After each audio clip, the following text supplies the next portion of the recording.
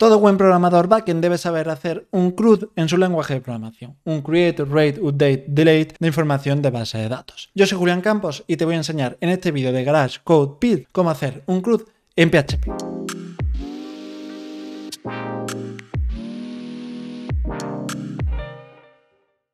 Vale, vamos con nuestro CRUD en PHP, Create, Rate, Update y Delete las operaciones básicas que podemos hacer con una base de datos en PHP y lo vamos a hacer sin ningún framework y de forma básica para que así lo entendáis. Yo tengo aquí ya creado un archivo para tener ya una plantilla. Tendréis el enlace del GitHub en la descripción, pero básicamente es la parte HTML para poder interactuar con la base de datos. Yo, por ejemplo, tengo este index que sin más tengo esta tabla para mostrar todos los registros, para poder modificarlo, eliminarlo, para poder mostrar un registro individual, modificar, eliminar y agregar un nuevo registro. Luego tengo el archivo config.php para poder crear la configuración para la conexión a la base de datos, un create, un delete, un read y un update que va a tener también otro pequeño formulario para poder modificar los archivos, eh, los registros. Y por último, el archivo setup .sql que va a tener las instrucciones para crear la base de datos que vamos a utilizar ahora que se va a llamar code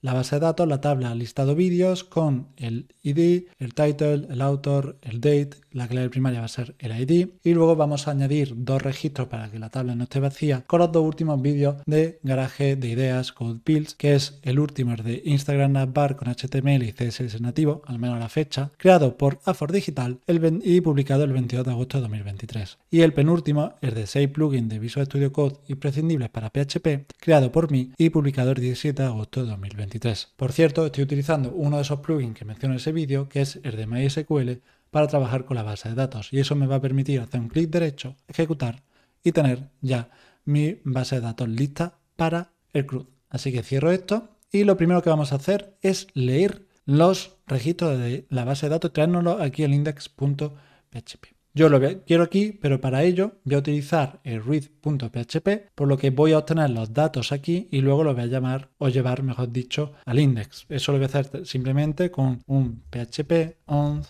read.php. Y así ya todo lo que cree en ese archivo lo voy a tener disponible. Pero primero, vámonos al config.php y crear la configuración y la conexión con la base de datos. Para eso vengo aquí, php, y voy a crear una serie de constantes con define Primero va a ser dbhost, el host de, es localhost y utilizamos el puerto 8889 para MySQL, aquí en local. Define dbuser, que tengo un usuario creado llamado test, y define dbpassword, que de nuevo va a ser test.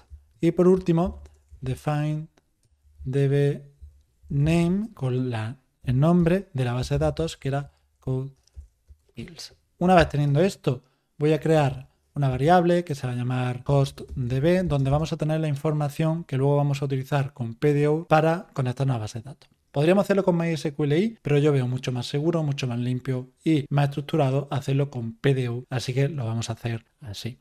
MySQL, dos puntos, host igual a, y vamos a concatenar db host. Ahora punto y coma y db name igual y concatenamos y ponemos la constante de bname para finalmente concatenar con un punto y coma y otro punto y coma y ya tendríamos la información del host lista. Ahora vamos a crear un bloque try catch para hacer la conexión con la base de datos. Para eso voy a crear un objeto, se va a llamar connectDB, que va a ser un objeto PDO en el que el primer parámetro para crearlo vamos a necesitar el host DB, el segundo el usuario lo tenemos aquí en dbuser y el tercero eh, la contraseña que la tenemos aquí en dbpassword. Una vez hecho esto, a este objeto le voy a poner un atributo con su método setAttribute que va a ser el err mode para especificar cómo queremos gestionar los errores. Para eso lo queremos gestionar con rmode exception. Queremos usar excepciones. Y ya me puedo traer aquí mi excepción, que va a ser pdo exception lo voy a guardar con la variable e y en el caso de que haya una excepción vamos a morir el proceso, eh, no se pudo, pudo conectar a la base de datos para finalmente concatenarle el error, el mensaje get que nos trae la excepción.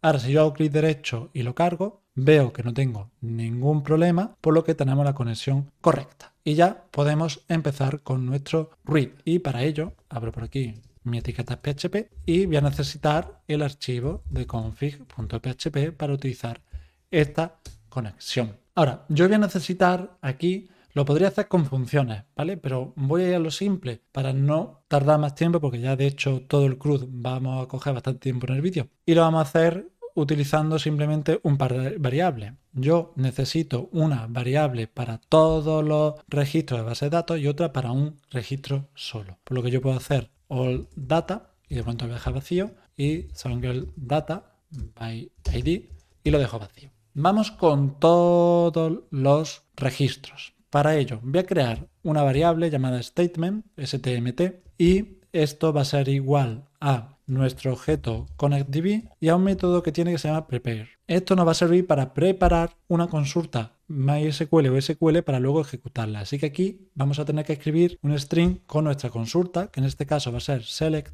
all from eh, listado vídeos. Una vez hecho esto, simplemente vamos a tener que utilizar otro método, esta vez va a ser de statement, que se va a llamar ejecutar. Y esto va a ejecutar la sentencia que ya tengamos preparada previamente. Ya nuestro objeto statement va a tener la información, ahora solo nos hace falta ordenarla. Para eso vamos a decir que al data es igual a stmt, stmt y la función fetch all, porque vamos a tener varias filas, varios resultados en nuestra sentencia SQL. Y está, este método lo que va a hacer es ordenarlo en un array, donde el primer elemento del array va a ser otro array que va a contener la información de cada una de las columnas de la primera fila. Y el segundo, en este caso pues tenemos dos, el segundo elemento de ese array va a ser otro array que va a tener la información de cada columna de la segunda fila. ¿vale? Vamos a tener un array multidimensional y va a ser tan fácil verlo como hacer un bar dump con alt data. Si yo hago esto, lo guardo y lo ejecuto, veo que tengo aquí, lo voy a agrandar un poco, un, array de dos elementos. El primero, que tiene un índice 0, es un array de 8 elementos, en el que tenemos el primer elemento con el identificador ID, que es de índice 0, que tiene el valor de 1. El segundo elemento de ese array tiene un identificador de title que tiene el título de nuestro primer registro que hemos creado. Y así con el siguiente, ¿vale? Ahora lo vamos a poder utilizar sin problema. Me voy a traer esto por aquí. Y para utilizarlo, bueno, vamos a agrandarlo, ¿vale? Nos vamos a venir aquí en el index, que ya aquí lo había creado, lo había cargado y yo ya voy a tener esta variable disponible. Así que me vengo a la parte donde yo quiero utilizarlo, que va a ser justo aquí en la tabla. Ya tengo yo creadas mis dos etiquetas PHP para incluirlo, porque voy a utilizar, como esto es un array, un for each para crear una fila en la tabla por cada elemento de ese array. ¿Vale? Esto es una operación básica con array, por eso voy a hacer for each y vamos a decir, se llamaba al data, ¿no? Si no me equivoco, al data as video, Porque cada elemento de la fila corresponde a un vídeo y ahora esto va a dar una serie de vueltas.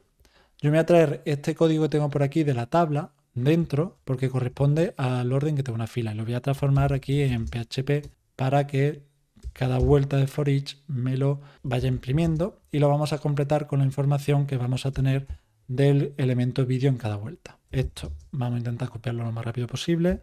Vale, ahora esto me lo puedo traer por aquí, copiarlo, copiarlo. Ahora lo vais a ver mucho más claro cuando ya imprimamos esto. Vais a ver cómo trabaja y como tenemos ya nuestro read de todos los elementos y luego vamos a hacerlo de un elemento simple y vamos a ver cómo trabajar con variables dentro de PDO y con los statements para que sea así ya del todo completo, intentando que en un vídeo solo sepáis ya hacer un CRUD perfectamente y bien hecho.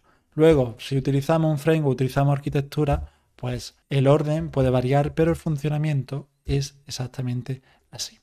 Vale, yo tengo ya hecho esto y si yo ahora me vengo, veo que tengo dos filas. ¿Por qué? Porque tenía dos elementos en mi base de datos. Ahora, yo necesito complementarlo. ¿Qué me piden? Y vamos a minimizar de nuevo esto por aquí. Vale, primero me pide el ID del vídeo, que esto va a venir aquí. Así que vamos a hacer echo vídeo y como esto es un string que podemos acceder por el identificador de la columna de la base de datos, la columna era ID. Yo ahora guardo y recargo aquí. Ya tengo aquí mis dos ID. El siguiente, el nombre, así que vídeo era title. Por el siguiente vídeo era autor. El siguiente es vídeo y era date. Ahora si yo recargo, veo que tengo toda la información de la base de datos ya habríamos hecho la lectura de todas las filas y la habíamos representado. Ahora veremos el tema de los botones, pero vamos con el registro individual. Así que me vengo aquí y vamos con Single Data by ID, que va a ser algo muy parecido. Voy a hacer de nuevo mi variable, voy a utilizar mi variable statement para utilizar el objeto connectivity para de nuevo preparar mi sentencia SQL, que va a ser select from listado vídeos, solo que ahora vamos a ponerle un where donde ID va a ser igual a dos puntos ID.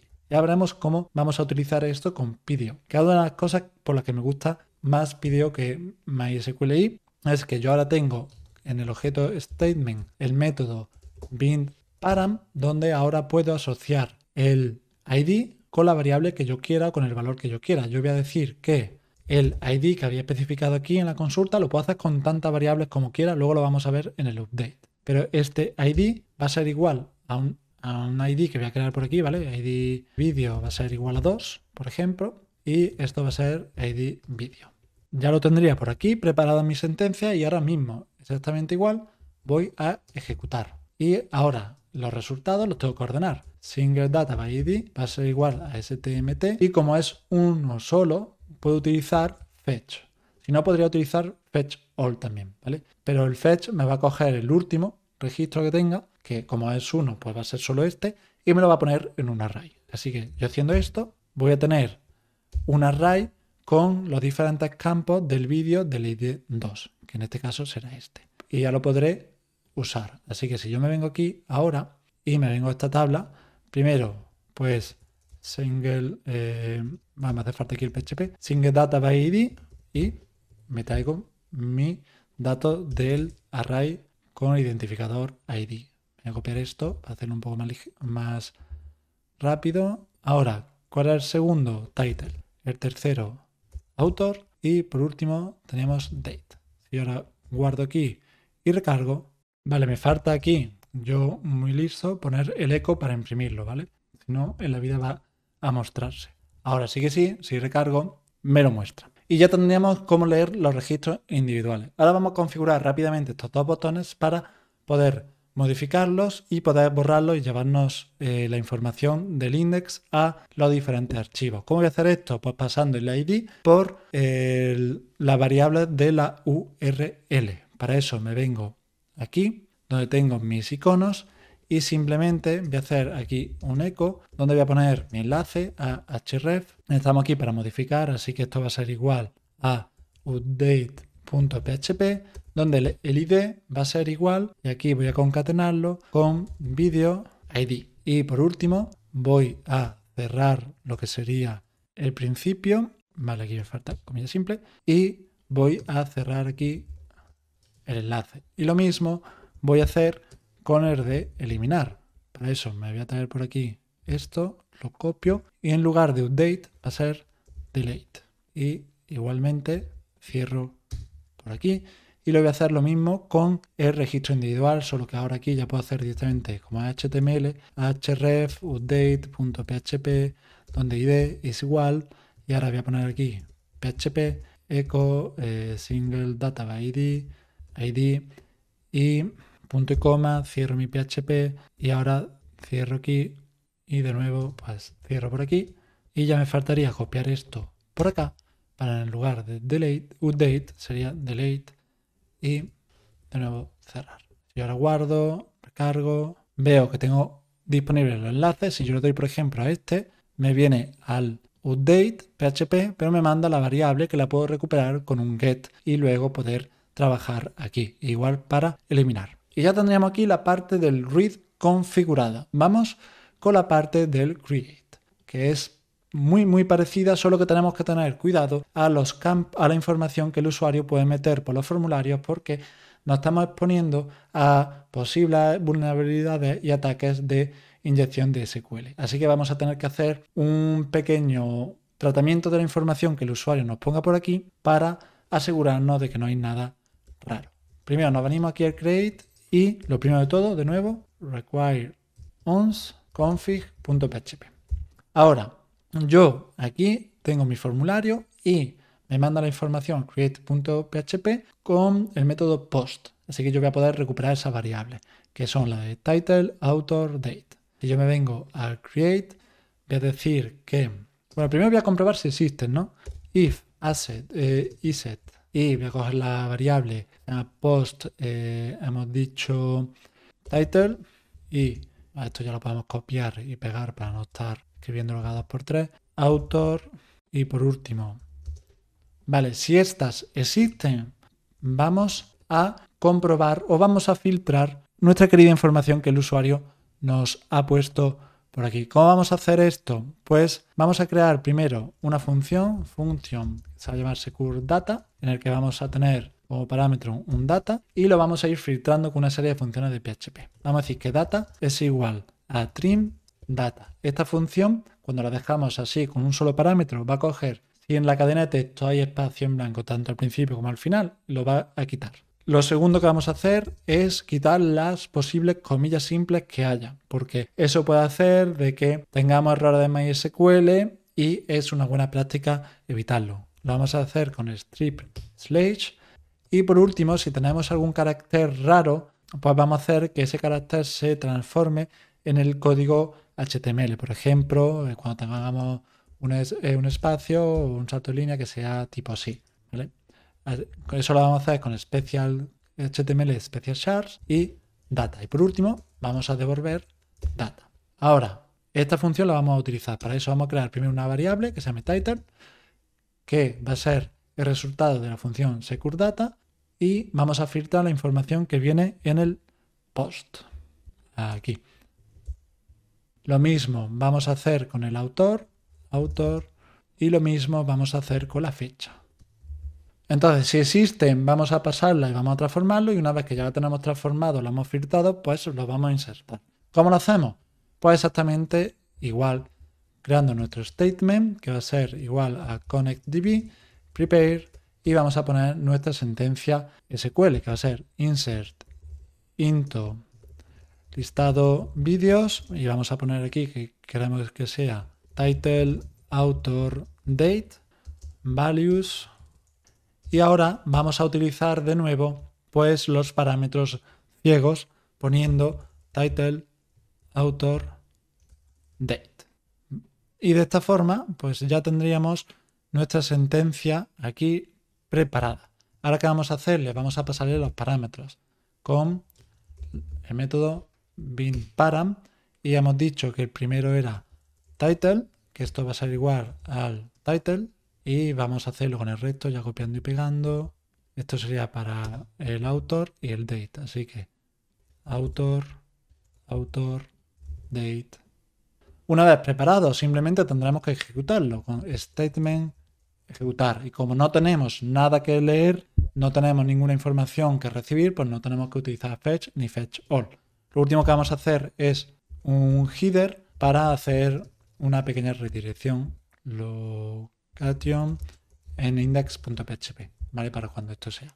Vamos a agrandarlo, comprobar que todo está bien. Tenemos aquí, muy bien, prepare insert listado vídeos, title auto data, values, title author date. Ejecutar. Muy bien. Pues entonces yo me vengo ahora aquí a mi index.php, que sabemos que este formulario la información la va a mandar a el create y vamos a poner el nombre del vídeo. De momento vamos a poner tercer vídeo, tercer vídeo, luego lo vamos a modificar, ¿vale? Y la fecha, pues el 12 de agosto, que fue mi santo. Vale, tenemos aquí un error, vamos a ver, invalid parameter number, parameter were not definer, title author, date. Vale, me falta aquí una H, importante escribirlo todo bien. Y ahora sí, dice que no puede ser nulo, porque hemos escrito algo mal. De nuevo me falta aquí la H. Comprobemos las H que, aunque son mudas, no hay que comérselas. Vale, ya vemos que está aquí creado con su ID 3, tercer vídeo, tercer vídeo y la fecha. Y ya tendríamos ahí el create. Y vamos con el update, que va a ser un proceso muy, muy similar, solo que vamos a tener que recuperar el ID, recuperar la información, etcétera, etcétera. Esto lo vamos a dejar por aquí abierto porque vamos a copiar algunas funciones de aquí, pero vamos a coger el update. Que como sabemos tenemos aquí ya un pequeño formulario hecho con el método post, pero no va a ir a una página porque vamos a ejecutar el PHP en esta misma. Cuando no ponemos una acción, la información la manda a la misma página en la que estamos haciendo ahí una recarga. Por lo que yo voy a poner aquí PHP, PHP y de nuevo require config.php para tener mi objeto de conexión listo. Sabíamos que nosotros tenemos por aquí, cuando hacemos eh, de actualizar, ¿vale? Me viene el ID. Por lo que yo tengo, primero que todo, recuperar el ID. Para eso, if get, bueno, primero, iset get ID, si existe, vamos a continuar. Yo lo primero que voy a querer hacer es crearme también mi función para ir filtrando la información, ¿vale? Así que voy a crear aquí mi variable id vídeo va a ser igual a secure data y me pongo la variable get que he recuperado. Así ya la filtro y estoy seguro. Yo voy a hacer una llamada a la base de datos para tener la información de este vídeo para imprimirla aquí. Por lo que si yo me voy a read, voy a tener que coger básicamente esto de aquí y adaptarlo un poco en el update. Así que yo simplemente hago esto, esto me lo puedo borrar y fijaros, ID vídeo es igual a la ID que le hemos pasado, tenemos mi select all from listado vídeo donde la ID es la ID y el parámetro ID decimos que es igual a la variable ID vídeo, lo ejecutamos y tenemos aquí ya la información. Yo esta información lo que quiero hacer es primero imprimirla aquí en el formulario en el campo de valor, ¿vale? Así se va a mostrar si el usuario solo quiere modificar una, no va a tener que rellenar el resto y se va a poder procesar todo correctamente. Para eso me vengo aquí y voy a poner mi código PHP donde vamos a imprimir eh, single data by ID y aquí no hace falta el title. Si yo guardo y ahora aquí esto lo actualizo, veo que tengo ya el título aquí. Pues ahora voy a tener que hacer exactamente lo mismo, pero con el resto de información, el autor y por último la fecha. ¿Vale? Si yo ahora vuelvo a recargar, tengo aquí la información. Vale, hecho esto, que esto ya se coge automáticamente al venir al update, vamos a coger la información del formulario para actualizarla. Para ello voy a tener que hacer otro if y comprobar los datos del formulario, un poco como hemos hecho antes con el create, ¿vale? Con el title, post y tal. Así que me voy a copiar esto por aquí para no tener que volver a escribirlo. Lo tenemos aquí. Comprobamos que todo eso existe y si existe, pues vamos a volver a filtrar la información. Que lo puedo hacer exactamente igual como lo, hemos hecho antes. No hace falta nada. Solo que ahora vamos a poner, eh, venga, nuevo o new, para seguir con el inglés. Title, new author y new date. Hecho esto, ya tengo aquí la información. Ahora solo voy a tener que preparar mi sentencia SQL para ejecutarla. Así que stmt es igual a connectdb, prepare y ahora update y tenemos que hacer nuestro update.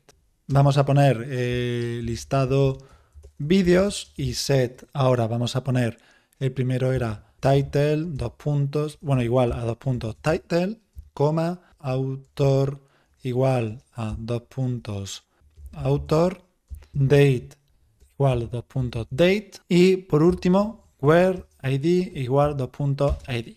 Y con eso ya tendríamos la sentencia y tendríamos que pasarle ahora de nuevo, una vez más, los parámetros utilizando el método bindParam.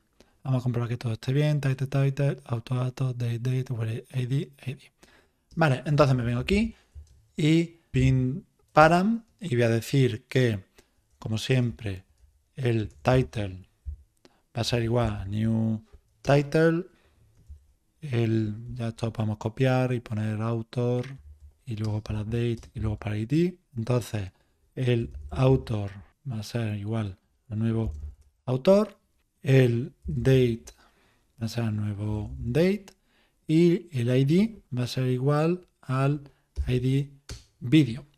Una vez hecho esto, de nuevo lo que vamos a hacer es ejecutar y poner un header de location index.php para que se vea la modificación. Yo si le doy aquí a cancelar, me viene ya detrás y nos venimos por aquí y vamos a modificarlo. Para eso me voy a YouTube, YouTube y vamos a buscar cuál fue, tengo por aquí Garage de ideas Code Builds.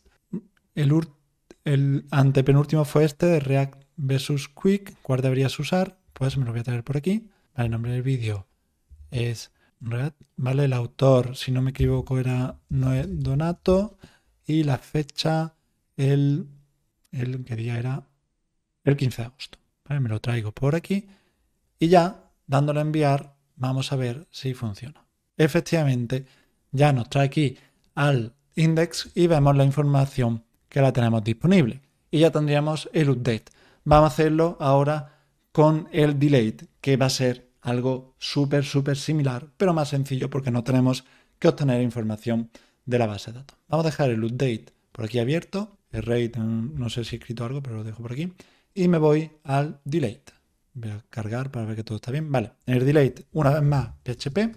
Nos traemos aquí nuestro querido config.php y de nuevo le estamos pasando la información del ID por la URL. Así que voy a tener que hacer exactamente lo mismo, de comprobar si existe.